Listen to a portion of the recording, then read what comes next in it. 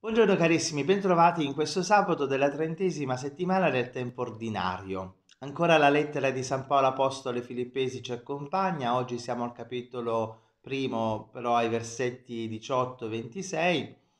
Paolo è felice e contento perché il Vangelo viene ancora annunciato, il messaggio di Cristo viene propagato e anche se lui dovesse morire sta tranquillo e beato perché eh, questa consapevolezza della continuazione dell'evangelizzazione lo rassicura. La morte per lui viene vista come un guadagno, un guadagno supremo perché eh, si ha la possibilità di intraprendere una comunione eterna con Cristo, un'unione totalizzante con il Signore. Però nello stesso tempo non vuole venire meno ai suoi impegni di apostolo e quindi rimanere nella carne, ecco, e anche eh, permettere una predicazione maggiore e via di seguito.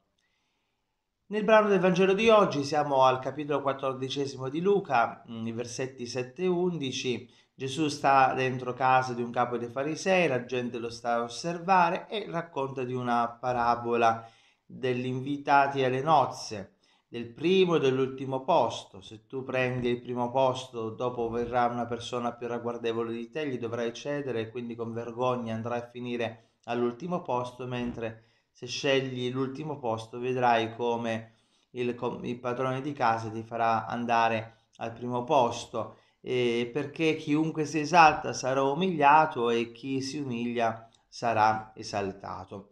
Bene, Cosa ci vuol dire il Signore? Innanzitutto dobbiamo cercare di avere nella nostra vita una coscienza realistica, che ci fa vedere anche il posto che occupiamo all'interno della società, la responsabilità che ci è affidata, il compito che dobbiamo svolgere, perché quando ci rendiamo conto che tutto è un dono, noi ci mettiamo a servizio degli altri, mettiamo a servizio anche le nostre qualità, senza l'autoesaltazione, manie di grandezza, perché se cerco di predominare sugli altri, vado a finire in fondo alla fila.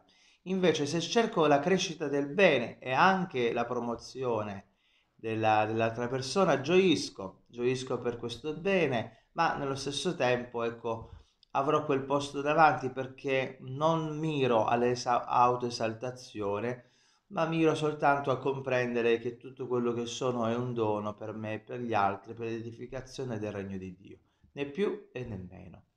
Quindi ecco perché oggi vogliamo vivere la nostra giornata pensando alla nostra esistenza con una coscienza appunto realistica. Bene, auguro a ciascuno di voi una, di vivere una buona e santa giornata e un augurio di un felice, sereno e piacevole compleanno alla carissima Rita.